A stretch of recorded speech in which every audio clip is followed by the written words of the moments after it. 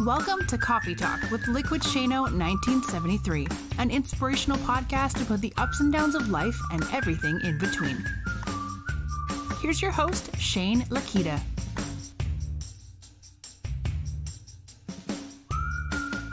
Hey, everybody, welcome back to another episode of Coffee Talk with Liquid Shano 1973. I'm your host, Liquid Shano, or otherwise known as Shane Lakita, and I'm here after a few weeks off, guys. I've taken a few weeks for myself took a few weeks and there's been so much going on in my life right now that's literally insane overall of all the stuff that's been going on. So I'll fill you in on a little bit of that and I'll fill you in on some of the stuff that's been on my mind. And then we're going to get back in the swing of things and do some more of these great podcasts, doing some interviews, and then me just jamming out with you guys overall to be able to just kind of spend some time together and and enjoy each other's time and inspire each other to just be the best versions of ourselves. So since the last podcast that I've had, I mean, literally, things have been upside down in my world. And as many of you know, back in January, I lost my job and and uh, I was faced with a lot of uncertainties and different stuff that was going on in the world that basically was thrown at me, and uh, I was faced with many different. Uh, you know, different decisions that I had to make and different types of things that I had to work on. And so it was interesting because I it really tested my fortitude and it tested my my overall how I feel about myself and my own demeanor and self-worth and all those things. And as many of you know, we've been through so many things together and things just in general that we get to this place where we are just you know, when life just throws all kinds of stuff at you, you don't know which way is up and you don't know which way is the right way. And then you don't know how to be able to handle some of these situations. If you're a positive person and then you start to feel really down in the dumps and then you're looking around going, wait a minute, I, I, I really thought I could be able to handle something like this. But then you realize maybe I wasn't able to handle this kind of stuff. Or maybe maybe these kind of things are going to break me down maybe it's going to wear me out into the point where I'm just like looking around going, what, which way is up? So, as many of you know, in January, I, I lost my job. I'd worked for the same company for 15 years or so, and they let me go. And it was from downsizing and reorganization and different stuff that had happened with the with the company that I was working with.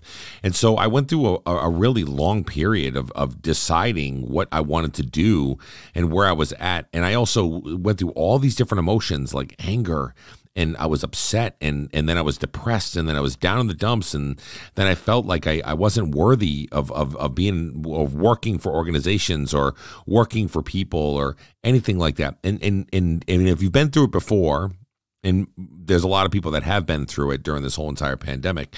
If you've been through it before, you know the different range of emotions that you feel and you don't know which way is up. You you you start to lose your identity a little bit. And I think a little bit of that had to happen with this podcast because although I really got buried into the fact that I started doing TikToks and Instagram and all kinds of different stuff, I still was struggling to get to the place that I needed to when I was sitting there thinking to myself, man, am I really worth the energy that I'm putting into this? I don't get paid money to do social media.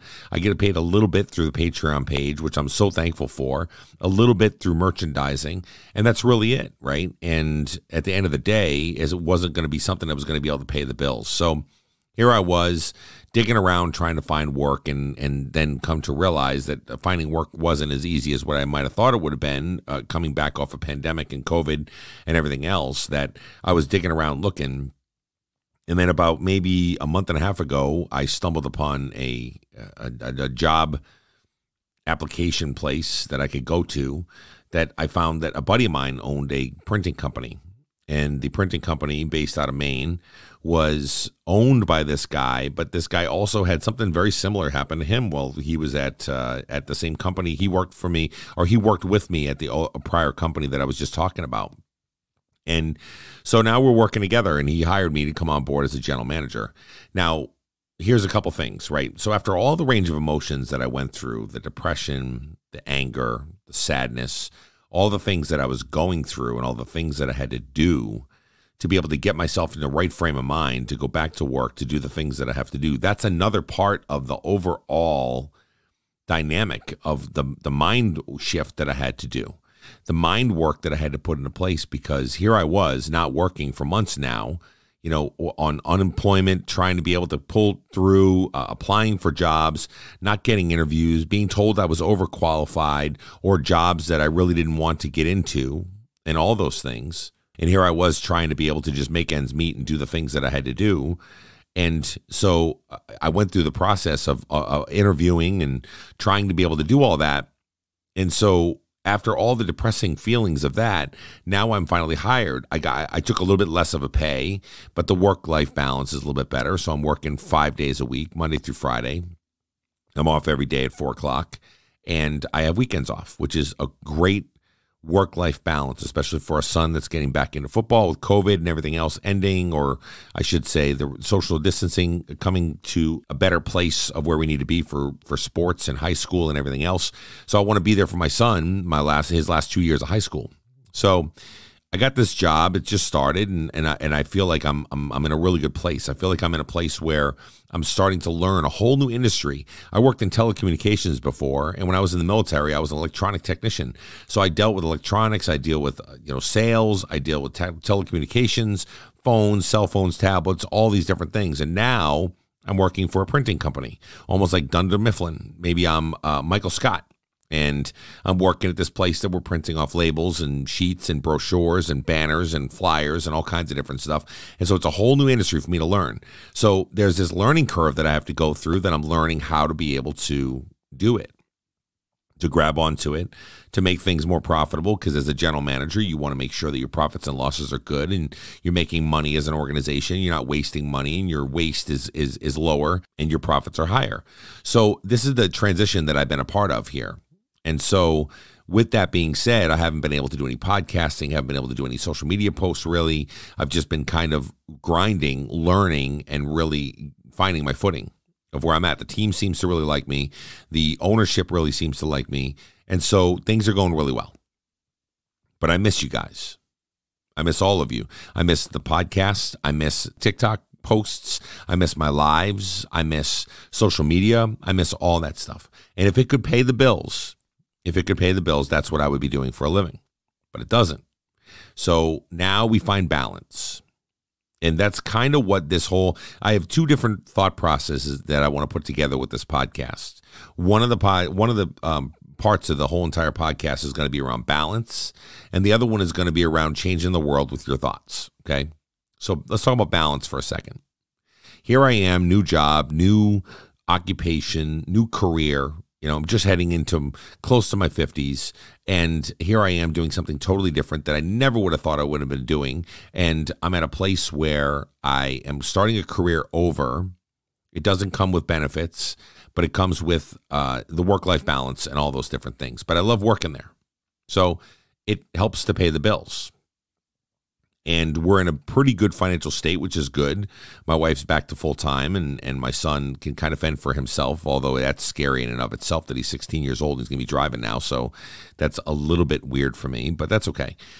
I digress. So here we are. Here we are in this place where you have to find balance. You have to find out what's going to work for you. So if I know that I get something out of the podcast and through social media posts and through everything, and I know how much work it goes that goes into it to be able to do it effectively and efficiently, I don't want to sell it short and just put something out just to put something out because I want to check off the box. No, you guys know, as many of you follow me on all these different platforms, that's not the style that I have. That's not who I am as a person. I'm not going to sit there and try to tell you that I'm going to half ass something just because I want to check off the box and make it happen. Okay. So here we are. And now I have to figure out what my balance is. How do I balance out working full time as a general manager for a printing company, but also balance out continuing to record my podcast, continuing to record interviews, and then also set up a cadence around social media.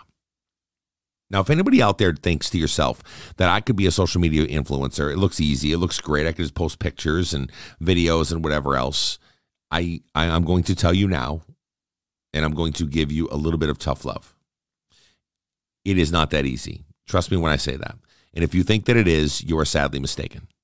It takes work, it takes time, it takes energy, it takes consistency, and it takes fortitude to be able to play in the space of social media and continue to move things forward. Because not only are you are you having the ability to be able to maybe share parts of your life or share parts of your story across the board but you also have to deal with all the trolls and all the negativity and all the stuff that goes on that you shouldn't have to deal with right in real life. But you do on social media and that's kind of the space that we're playing in so with all that being said, and to know that it's difficult, to know that it works, that you have to work hard at it for you to be successful, to know that you got to continue to grind and continue to push things forward, to know that this is what my eventual dream will be is to be a podcaster slash radio guy that's going to be on here helping others, inspiring others, and just celebrating in life and continuing to move forward. One day that will be my occupation, and I will make that happen somehow.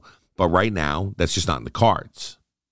So, I've got to be able to learn and accept the fact that life has dealt me this card. And these are the cards that I'm dealt. So, how do I find balance? There's a couple things that I'm going to put into place here over the next few weeks that I want to make sure that I continue to move forward that might be able to help all of you along the way in, in the process. One of them is around time management. We all know that one of the biggest things that we all have issues with, whether you're a parent, whether you're an employee, whether you're a worker, whether you're a CEO or whatever, time management is one of our biggest downfalls and detriments in society in general. It's one of the things that you'll hear the most successful people in the world say, I sometimes don't have time or I don't have the ability to be able to manage my time effectively enough to be able to do everything that I need to do. So time management is one. That's something I need to put into place. I need to set a schedule around my podcast. I need to set a schedule around my social media and then set a schedule around my work, right? And be able to balance those out and be able to incorporate those to make sure that I'm doing them effectively and fruitfully. That's the first thing. The second thing is is don't strive for perfection.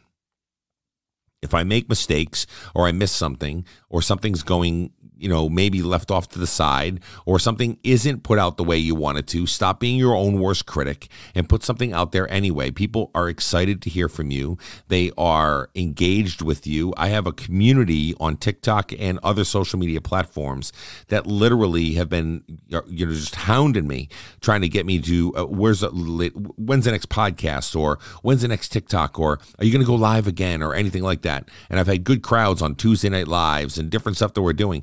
So the folks still want to be a part of it, and, and I want to be a part of it as well. So no matter what you do, and no matter how much you're going to set yourself up for whatever it is that you try to do and expect excellence, sometimes you have to just expect to be able to complete it and continue to move forward because sometimes that's the best stuff. This podcast, I had no intention, I had no script written for this podcast, except for the fact that I want to get out there and start talking to my people again. I want to have a conversation. I want to jam out a little bit. I want to use it as the therapeutic device that I always use it as, so that way I can feel better about myself as we move forward. So, balance. Balance is key in anything, whether you're dieting, whether you're financially trying to be able to be straight, whether you're trying to be able to uh, move up in the workplace, whatever it is, balance is everything. If you put all your eggs in one single basket, you're going to probably burn out and cr- crash and burn, right? So, really balance it out. Time management, Give yourself a set schedule. Do the things you have to do to stay consistent as possible whenever you're trying to be able to do it. Because as we all know, with social media, if you are consistent with your message, consistent with your videos, or consistent with anything across the board, nine times out of 10, your your following will love every bit of that because you're consistent. They know what to expect.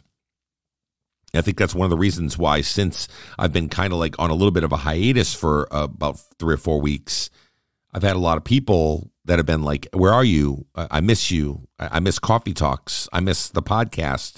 And the fact that, quite simply, I have a, about 21 people that donate to the show every single month, and so I owe it to them to make sure that I get some content out there, that I'm talking to them, that I'm having conversations, that we're jamming out together, we're vibing in, in different ways than just any other way, and I'm on the microphone sharing my story with you because you mean something to me and you matter to me and you're important to me. And I think that that matters in and of itself.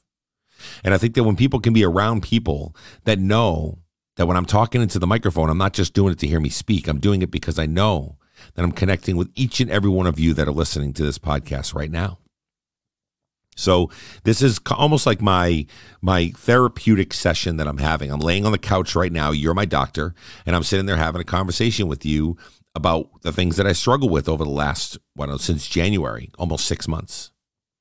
Loss of job, loss of grandmother, still no dad, and all these different stuff that's going through my brain across the board and having to be able to balance everything out and continue to move things forward, keeping a positive place going on in my mind to continue to move forward. And just know, folks, if I do take hiatuses or small breaks, I'm okay. I'm all right. I'm just taking the mental break that's necessary for me to be able to make sure that whatever it is that I'm doing, I'm doing it in a way that you guys will appreciate the products, appreciate the message, and appreciate the things that I'm doing as I bring it to the table. Now, I told you there was a second part of this because I believe wholeheartedly, as we talked about all this, there is a there's an ability to be able to map things out. There's ability to be able to give yourself a set schedule, to be able to create consistency, to be able to do the things that you have to do to create time management and be able to do all those things moving forward. But at the end of the day, nothing really matters until you are in a place where you can feel like you can accomplish the things you have to accomplish. Now, here's what I mean by that. If your mindset isn't right and you don't think that you can change the world, you're probably not going to change the world. If your mindset isn't right and you don't feel like I can accomplish something or I can do something that I set my mind to, then more than likely, more likely than not, you are going to not succeed in that space. But if your mindset is sitting back and it thinks to itself, okay, I know I've got a lot on my plate. I know I've got a lot of stuff going on. I know I've had ups and downs, and I know I've had some really depressing moments, and I've had some great moments. But at the end of the day, my objective is to spread positivity, continue to celebrate in others, and continue to move forward in a space where I feel good about the things that I'm doing, and I'm making impacts as I do it. So if those are my my my intentions and those are my goals and my ideas, then I'm in a good spot. And if I can set my frame of mind every day in the morning to know that I can accomplish things and I can do things that that I set my mind to and I can I'm successful. Even if I don't feel successful, even if I lost my job, even if I lost my grandmother, and even if we're in the middle of a pandemic, I still have the mindset that I'm successful at the things that I'm doing. And the success can come in many different forms, guys. The success can come in small little things, and the success can come in huge things. More often than not, you have to fill your day with small little successes to start to feel good about the way that you're doing things but we don't often do that. More often than not we we we are looking for the big splash. We're looking for the big thing the big uh the big moment for us to be able to say to ourselves oh i'm successful at that. I'm i'm, I'm uh, or or that was a really big one. And we and we we live in that space where we want this big win. When in all actuality all those small little wins that you may have are even more important than the big one. So if you're trying to lose weight and you're thinking to yourself, you, you need to lose 100 pounds, and how daunting that that task may sound, and you're thinking to yourself, man, holy cow, I've got a long way to go. Or let's just say, for instance, you lost 100 pounds, like myself, and then COVID and pandemic and loss of job and loss of family and everything else made you gain 50 of those pounds back. And then you're thinking to yourself, man, oh man, I've got a huge hill to climb. Do I have a mountain to continue to push forward with? And you think to yourself how big and grand this this this daunting task is, you're probably not going to succeed. Let's just be honest here. Eating food, eating bad foods, and being unhealthy is easy. Working hard to continue to grind it out and continue to move things forward is hard, right? But also being in the hospital and being sick and being lazy and getting diabetes and feeling ill and not in shape and not being able to get up out of bed and to be able to feel like you're out of wind all the time and all those things is also hard. So, which hard do you choose? Do you choose the fact that it's going to take a little bit of work and some steps and some walking and some running and some the right kind of eating or whatever else that kind of hard? Or do you choose always being in the hospital or always being told by the doctor that you're overweight or being having your high blood pressure checked or your cholesterol and those kind of things and always being worrying about the fact that you're not as healthy as you need to be and as you age it's just going to get harder and harder. So you so you first have to choose your hard right? And that's just in weight loss, guys. That that's not in anything else. But here's the thing: if you enter the day thinking to yourself, "Hey, I'm going to have a victory this morning. I'm going to eat well this morning.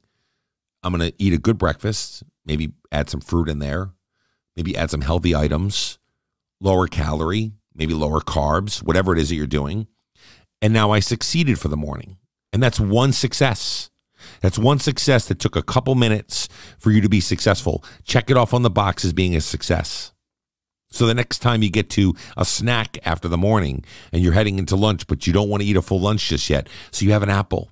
You mark it down as a success. There's success number two because you just ate a healthy option for you to be able to continue to move forward. And you stayed clear of the donuts and the and the Boston cream donuts or whatever else you had in the break room. This is what I mean by celebrating your small successes because you need to get yourself in the right frame of mind. You and I all, you, me, and everybody else that's listening to this podcast right now, it's life is hard. It's not easy. We're de- we deal with stuff every single day. Every day.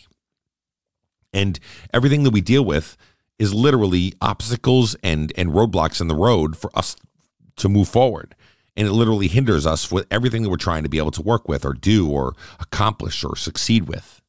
So your frame of mind matters at all times. First thing in the morning, you got to wake up and you got to think to yourself, I can do this. Midday, when you start to get those those midday nappies and you're starting to think to yourself, oh man, I'm so tired right now. I just want to go to sleep. I need some coffee. I need something to pick me up or whatever. Those are times you got to lean in and start to think to yourself, I can still be successful. Even if the morning wasn't as successful as I wanted it to be, I can stay, I can turn it around right now and I can continue to move forward and be successful. So midday point, you got to change your mind. And then evening point, Let's say, for instance, you had a really rough day, but you were you were super successful. You had two or three successes during the day, and you celebrated in those. Ride the momentum into your evening and say to yourself, "Okay, I'm gonna have a healthy dinner. I'm gonna do whatever I have to do. I'll go for a walk. I'll go experience some stuff. Maybe I'll go check some flowers. Take the dog for a walk. Take the spouse for a walk. Whatever you got to do, and be successful. And now you have three or four or five celebrations and accomplishments that you achieved today the post that I put out this morning, I'm going to read it for you real quick. Let me open it up. So the so the post that I put out this morning on Instagram and on uh, on Facebook, basically it's it's a quote, and I want to read it to you real quick, okay? And the quote says, "Change your thoughts, and you'll change the world." Let me read that back to you one more time. Change your thoughts, and you'll change the world. Now we may think to ourselves that we're not we're not these scientists that change the world scientifically. We're not these uh, explorers that change the world by discovering new lands. You can change the world with your actions. If you change your thoughts throughout the day, you change the way you look at things. You change the way that you think about things. You change the way that you celebrate in your successes. And you change the way that you move throughout the day you can change your life. I mean, think about that. Do you feel that you could? Probably not, right? Most people think that my life is what's given to me.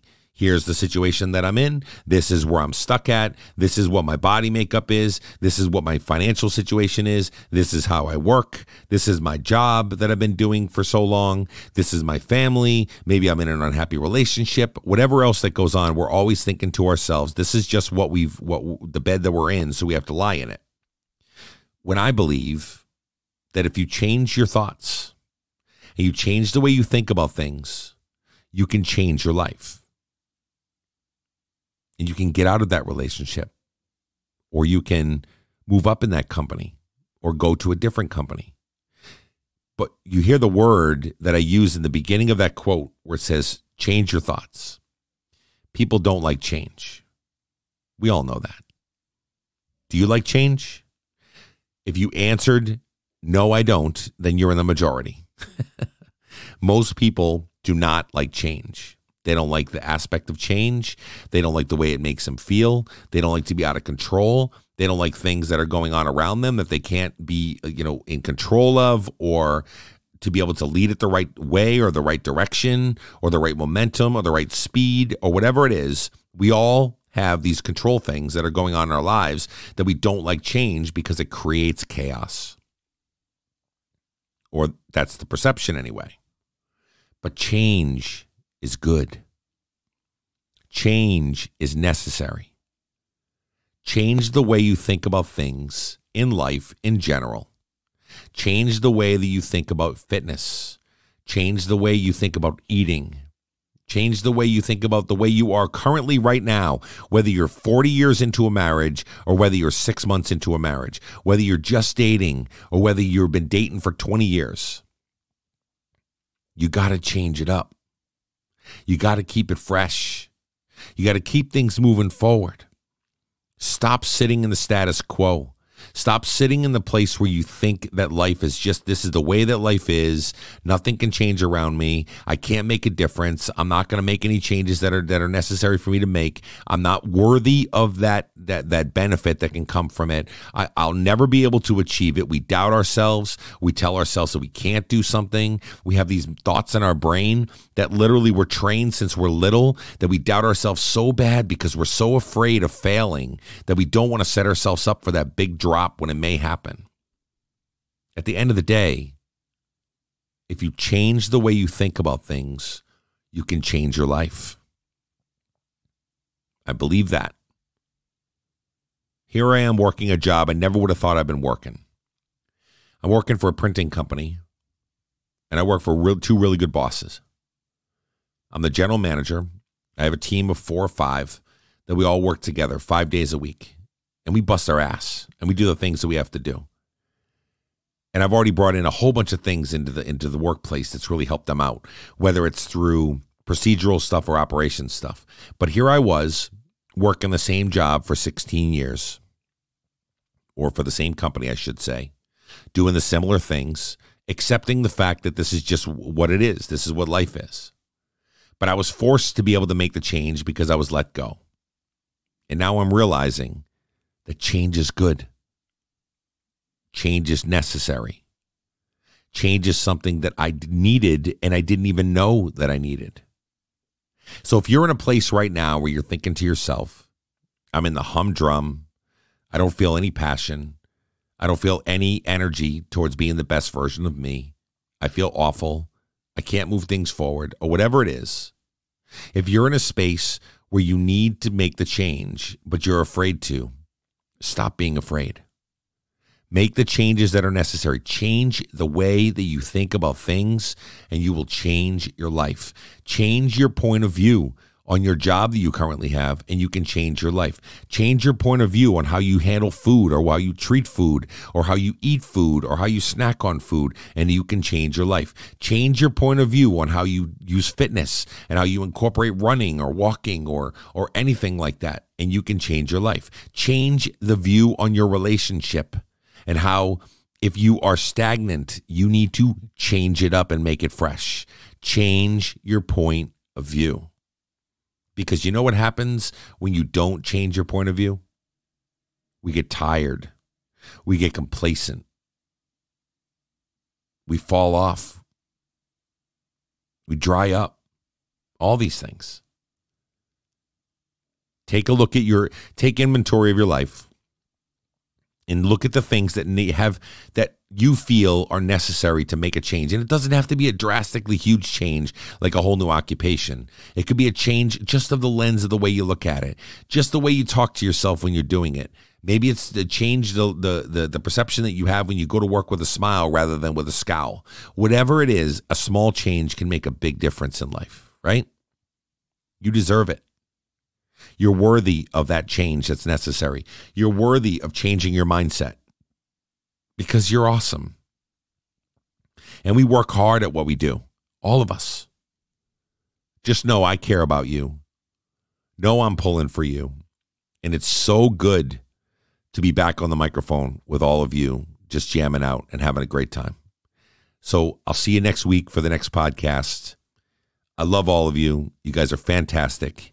And we will talk soon, okay? Thanks, guys. Appreciate you.